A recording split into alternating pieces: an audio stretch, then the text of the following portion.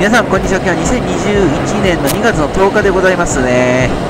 水曜日でございます。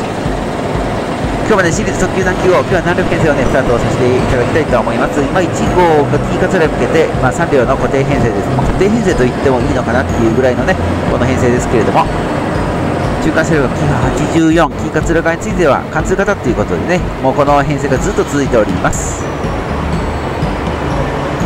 あ、本当にね、あのセミデフォルトって感じのね、この編成なんですけれども、いつね、あのこの均衡が崩れる時が来るかなっていうところでね、ちょっと楽しみなんですけどもね、名古屋駅行きまして、快速三重の3号をね、今日はね、取りました。今日10番、11番線にはちょっとね、行かずにこちらで取っていますということですね。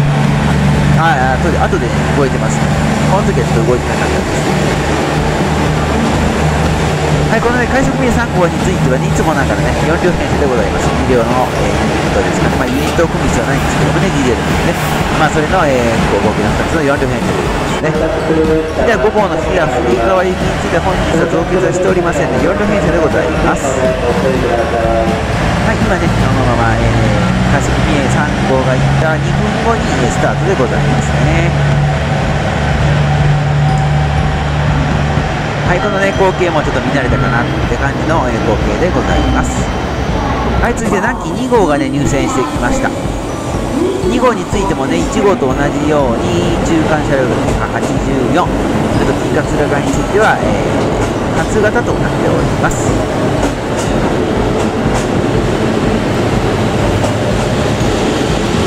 これでランキング2号が到着しました。ここでね、10番、11番線に移りまして、車番をね、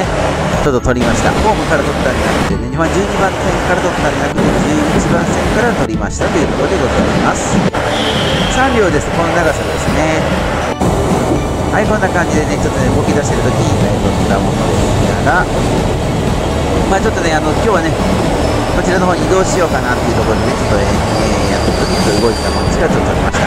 れがね、2号が今、車庫に回送で入っていきますということです。3号なんですけどもね、今日の3号はね、あの5両編成でね、えー、しかもね、多分史上初ですよね、トリプルヘッダーでございます。南紀3号のね、トリプルヘッダー。まあ、今までのね、その3両編成のね、ものにね、先頭車両2つをくっつけたっていうことでございますね。トリプルヘッダーでございます。飛騨ではね結構ねトリプルヘッダー見れますけれども、ね、南紀でトリプルヘッダー多分ねこれ初めてじゃないかなっていうところでございますね。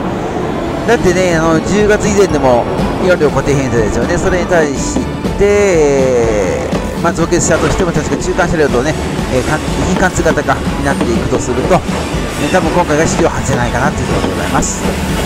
そのね、姿をちょっとご覧くださいませ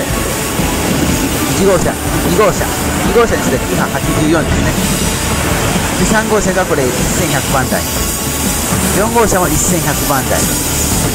5号車も1100番台。今まではねあの5両編成あっても1号車が、えー、まあ、普通のキハ85ですよね。で2号車がキハ84の1100番台でで3号車がね中間車両。あさ3号車も1100番台。それ4号車が中間車両キハ84で5号車が1000円また100番台とかっていうのがありましたけどではね違いますね。はいこれね、えー、ほんとトリプルヘッダーでございます。4号車も1100番台ですね。でちょっとなんかね102というね多分ねこれねもともと10185-102がねあのー、確かバリアフリーのやつをやった時に1000番台2100番台になったのかなったということでね、え、そのねうっすらところが残っておりますちょっとねレアルなんですね。はいこれで、えー、またねトリプルヘッダーはい信号よしということでね青信号はね、ちょっとね、2つ、2回目に取ってましたけど、ね、信号よしっていうことで、ちょっとこれでスタートでございます。さあ、5両編成でね、トリプルヘッダーでのスタートでございます。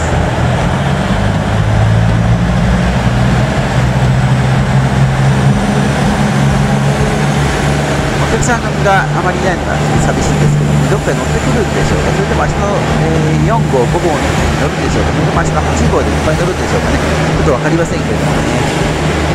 まあ、なぜ5両なのか、明日が多分祝日だからでしょう、そんなことで、ね、多分5両になったんだと思います。距離の平準化なんでしょうか、えー、中間車両がついてたんで先頭車両が何機号要するに2編成でね多分賄っております。のでその2つが余っているので、えー、もしかしたらその距離を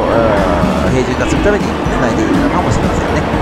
まあそのところでね今日の動画はこれで終わりでございます。最後までご視聴いただきましてありがとうございました。また明日もね撮っていければ撮っていきます。ね、えー、それとチャンネル登録はまだの方はぜひチャンネル登録をお願いしたいと思います。それではさよなら。